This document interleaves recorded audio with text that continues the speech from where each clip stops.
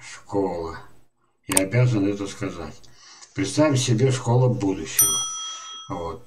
Значит, в школе будущего появятся заместители директора по воспитательной работе. Не вот эти вот женщины, которые могут пальчиком погрозить и которые старшеклассники, хамы, абсолютно их много. Наша действительность родила хамов, которые доводят учителей до инфарктов. Знаете, нет? Телевизор смотрите? Я уже боюсь его включать, этот телевизор. Вот. А теперь представьте себе, приходит туда новое поколение новых людей. Это мужчина. У него боевые награды. На пенсию уходит рано. По, по ранению, даже по инвалидности. Но этот инвалид 2 метра роста. И в ширину 2 метра плеч. Вот. И полно наград. Вот. И он сегодня сидит в каком-то классе неблагополучном, сидит сзади и спокойно. И как только этот хам вякнет хоть одно слово, он спокойно подходит, берет его за ухо. Отрывать не обязательно уши. Это чересчур.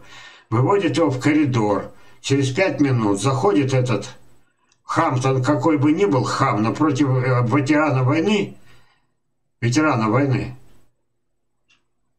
который нас грудью прикрывает.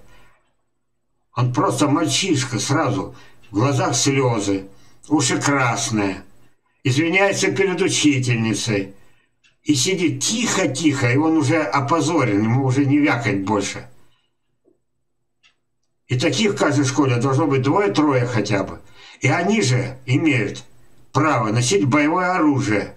Если в этой школе появится маньяк с охотничьим ружьем, с боевым ружьем, хоть с этим самым, первый же тут же получит пулю в лоб. Да, должны учителя учить. Как они учат сейчас детей? Под парты ложиться. Знаете об этом? Все, их умение этого качается.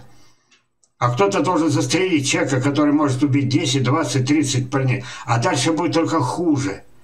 Остановить можно таким путем. Дорого это будет, накладно держать несколько человек. Но это лучше, чем держать этих самых воспитателей, э, этих самых а, девчонок или женщин слаб, слабых. Вот они-то и составят костяк школы. Это будут мужчины. Как вы думаете, уважение будет человеку, у которого грудь в орденах? Даже если инвалид, даже без руки.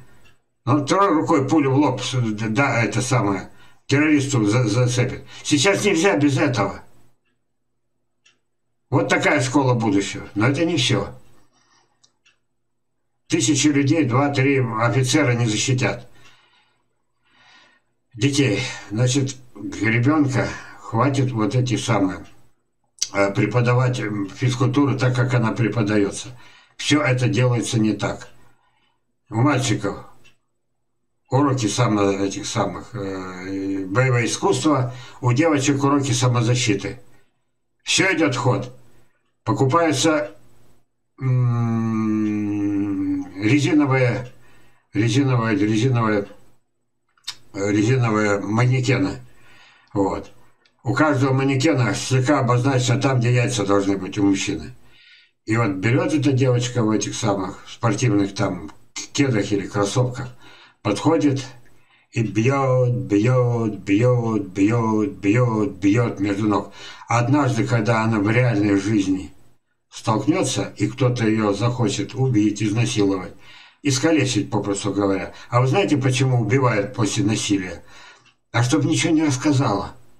И выхода нет практически. И опять, э, опять девочку. И каждый день говорят, тут нашли мертвую, там нашли мертвую. Но многие из них... А, а потом он рассказывает, сегодня по телевизору рассказывал очередной этот, убийца пойманный. Она, я его делал так, я ее взял за плечо, она не сопротивлялась, она только дрожала. А теперь представьте себе, когда делается так, что настоящий физрук, настоящий мужик из этой же а, а, армии, и за этими же орденами, но уже с наклоном, не знаю, как это называется, уже спецназовец, уже из этой серии спецназовцев, вот, подходят девочки – берет ее за плечо, раз, захват, а девочке 13-15 лет может, не может, Знаете, когда-то меня удивил, я дружил с бывшим спецназовцем, он у меня эти, а, а, а, оператором работал, а я мастером. Ну, завод вот этот пускали. Вон он там вдали. И он мне показывал эти простейшие приемы. А я не знал. Я, я год ходил на штангу, когда меня начали бить в школе. Отстали. Я в институте э, год позаним, полгода позанимался э, боксом. Уже что-то научился. Э, подпольно позанимался секцией карате модной. Еще чему-то научился. А тут проще оказывается. Он мне показывал, как это самое, выбить этот большой палец. Вот так вот, попробуй только как подойди к человеку, раз, и пальца нет. Он мне показывал, знаете, я вот сейчас покажу, меня видно. Вот смотрите, я уже на ребенке это показывал, на, на подростке. Значит, ты сидишь, тебя вот тут вот сзади берут и обхватывают и начинают душить. Всего-то вот эти мизинцы разводятся двумя пальчиками любого возраста ребенка. Вот эти мизинцы раз – и захвата раз, а если ты посильнее, два сломанных мизинца, и человек орет, и ты ему уже нахрен не нужен. Потому что у него два сломанных мизинца. Вот так вот только взял. Этому-то можно научить. И чтобы когда девочка поняла, что ей не жить, чтобы она уже тысячи раз, когда она била этот манекен, это дошло до такого автоматизма, что когда видит, что деваться некуда, она бьет между ног – а это такое место у человека, у самого сильного обязательно.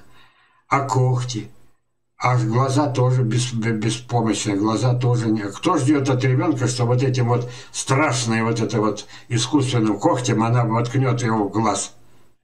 Тут тренировки не надо.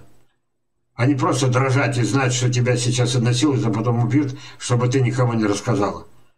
Выговорился, ребята.